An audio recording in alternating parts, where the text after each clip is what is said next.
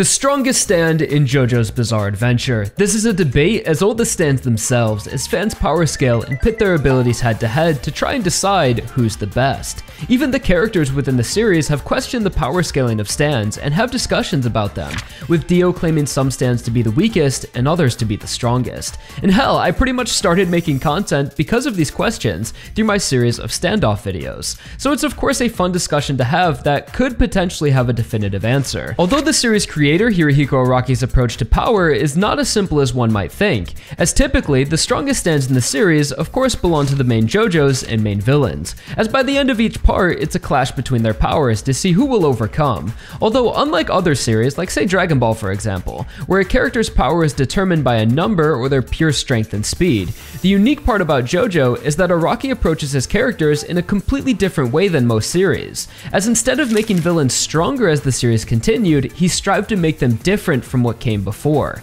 as stands possess some of the most unique and bizarre abilities in all of manga, making it almost impossible to determine the outcome of certain encounters, like the age-old question of Dio's time stop versus Diavolo's time skip. What would really happen if these two characters fought, and how would their powers interact? Sure, it can be fun to theorize and discuss, but it would never really answer the question of who is stronger. So for this dilemma, let's look towards Araki himself, the creator of these powers, and find out what stand he considers considers to be the strongest ability he ever wrote, diving into some of the mind-bending ideas such as King Crimson, Made in Heaven, D4C, and The Wonder of U. But before we can uncover the strongest stand in JoJo, let's talk about the strongest way you guys can protect your online activity and take full control over your internet experience, with the sponsor of today's video, Surfshark VPN. Surfshark is a virtual private network that fully encrypts your online identity and activity, keeping your personal data protected from big companies and cybercriminals criminals, making it impossible for anyone, even your ISP, to track your activity. And with more people working from home, it's more important than ever to protect your professional and sensitive data from anyone looking to take advantage of you, keeping you safe on your home network or even when using public Wi-Fi, as Surfshark is available on mobile and desktop, being able to seamlessly run in the background and using as minimal resources as possible on your devices. Surfshark has over 3,200 servers in over 100 countries, allowing you to instantly connect to regions all over the world. By connecting to these foreign networks, you can instantly unlock tons of region block content for streaming services you probably already pay for. Aren't you tired of looking for something to watch at the end of the day and it just feels like you're seeing the same recommendations over and over? Well, just by simply clicking on another country and opening up Netflix or any streaming service, you will have a completely new catalog of movies and TV. And since I know you guys love JoJo, if you want to watch the entire anime as easy as possible, but it isn't available in your country, by using Surfshark, you can instantly connect to a US server and unlock the entire series in multiple languages dubbed and subbed. And heads up, Netflix Canada is insane. The catalog there is like every streaming service in one. And right now, using my link in the description, you can use code XFORTS to get 83% off plus 3 extra months for free. And with Surfshark's 30-day money-back guarantee, there's zero risk for trying it out and the benefits for yourself. So again, click the link in the description to download Surfshark VPN today and take control over your internet and privacy.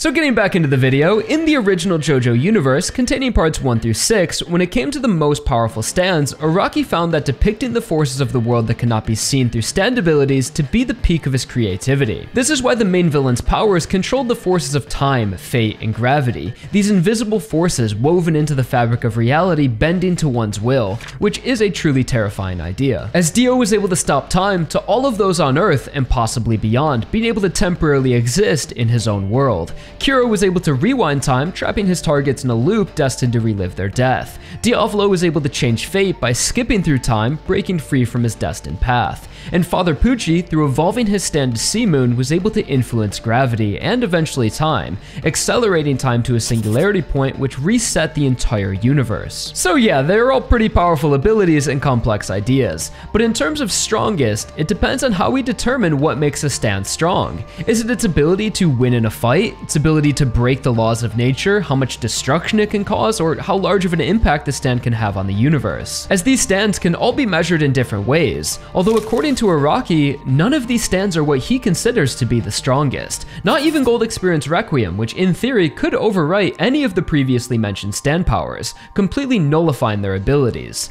So if none of these stands are the strongest, Let's move into the alternate universe. In the seventh part of JoJo, Steel Ball Run, Araki would create Dirty Deeds Done Dirt Cheap, a stand with the ability to access an unlimited number of parallel worlds, pushing his depictions of these invisible forces to its absolute limits, introducing the idea of a multiverse as a canon within the series, as the stand user Funny Valentine could hop between dimensions, interacting with alternate versions of himself and others, and even pull people between dimensions, creating anomalies in space-time that I'm sure even Valentine Valentine himself couldn't fully comprehend, as a law of nature is that two people from alternate dimensions cannot exist within the same time and place, as their bodies will be forced together and obliterated out of existence, correcting the anomalies. Valentine, of course, being an exception to the rule, as his stand was able to bypass this phenomenon. So while D4C may not be as widely impacting as, say, Made in Heaven, I would definitely say it goes further beyond any original universe's stand's capabilities, being able to travel limitlessly between dimensions,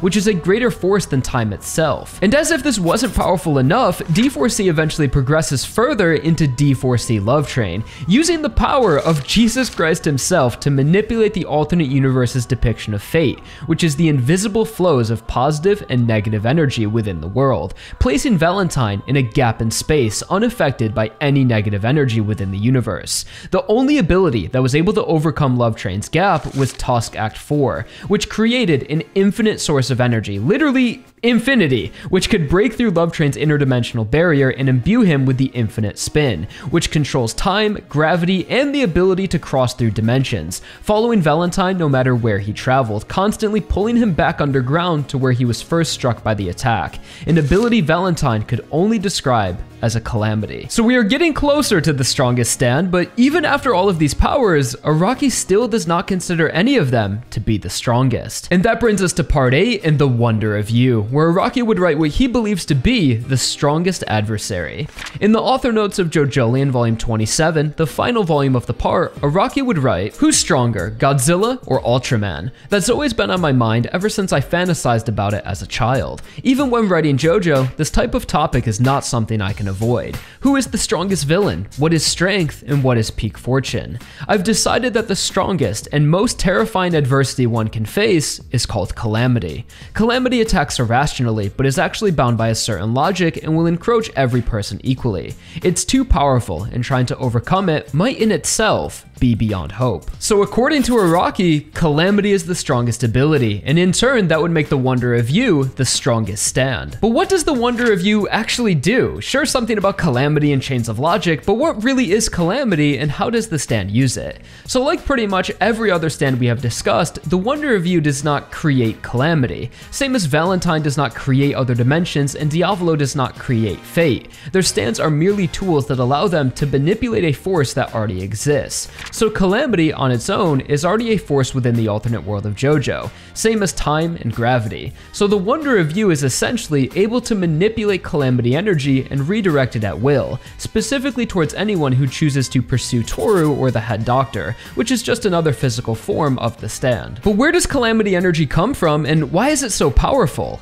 In this alternate universe, Araki explores the philosophy of existence and what it truly means to exist, as everything in this world that exists is trapped within a balance of positive and negative energy. This concept can be viewed as the alternate recreation of fate from the original universe. In Golden Wind, why do bad things happen to good people? Because fate exists, a predetermined destiny caused by unseen forces. In the alternate universe, why do bad things happen to good people? Because they exist within the flow of calamity, and everything within this flow is at the mercy of the balance of positive and negative forces. This is all pretty much an overcomplicated interpretation of good and bad luck, but viewed in a way that binds these irrational occurrences to a universal logic. So think of existence as a bubble, sealed off and inescapable, and within the bubble is an equal amount of positive and negative energy, perfectly balanced like a yin and yang sign. And everything which exists is also within the bubble, bouncing around in unpredictable paths, encountering an equal amount of positive and negative energy at random moments. And the Wonder of U's ability is simply to trap someone within the negative energy, an inescapable flow of calamity, which in a way is a manipulation of fate by controlling the path of one's existence. But this ability in practice isn't necessarily more powerful than any of the previously mentioned stands, especially the past main villains, it's just harder to overcome. As in the manga, its power is visualized by characters encountering bouts of bad luck, such as knocking into things, getting hit by a car, cutting your fingers in the kitchen, or a plane door falling from the sky and hitting you. Just completely random occurrences of bad luck as a result of being placed in that negative flow. So I believe the reason why Araki claims Calamity to be the strongest adversary is because of how universal and overwhelming it is. Dio stopping time is powerful, and it does stop time for everyone, but not everyone feels or notices its effects. And the same for King Crimson and D4C. Made in Heaven is kind of the exception here, but that's more of a one-time use ability that just resets everything and that's over. Calamity, on the other hand, is a representation of literally all of the negative energy in existence. It's irrational and unpredictable and could affect anyone at any time to varying degrees. If we say that Araki's philosophy of positive and negative flows is how the world really works, then you, me, and everyone else watching this video have encountered the power of calamity in some form. It affects our lives in tangible ways and leaves in its wake pain and sorrow. It's completely unavoidable and something we can't overcome, a force which affects everyone within existence in equal amounts, and I believe it's for this reason why Araki considers this power to be the strongest. So I don't necessarily think Araki is saying the Wonder of U is the strongest stand in JoJo, rather the force it's able to control is the most powerful concept Araki has explored so far with his writing, far greater than time, fate, gravity, and parallel dimensions. So by default, that might actually mean that Soft and Wet Go Beyond is the strongest stand in JoJo, as its ability allows it to exist outside of reality and go beyond calamity itself. But does that also mean the stand could go beyond time and gravity? I'm not so sure. So I guess the debate can continue forever and always for who is the strongest stand in JoJo. And maybe in the JoJolands, Araki will write something even more powerful than Calamity. And that is the strongest stand in JoJo, according to Araki himself. Thank you all so much for watching the video, and be sure to leave a comment leaving your case for the strongest stand in JoJo. Like the video if you enjoyed, subscribe for more, and be sure to show some love to the sponsor of today's video, Surfshark, and I'll catch you all in the next video. Thank you all so much for watching, I'm out. Peace.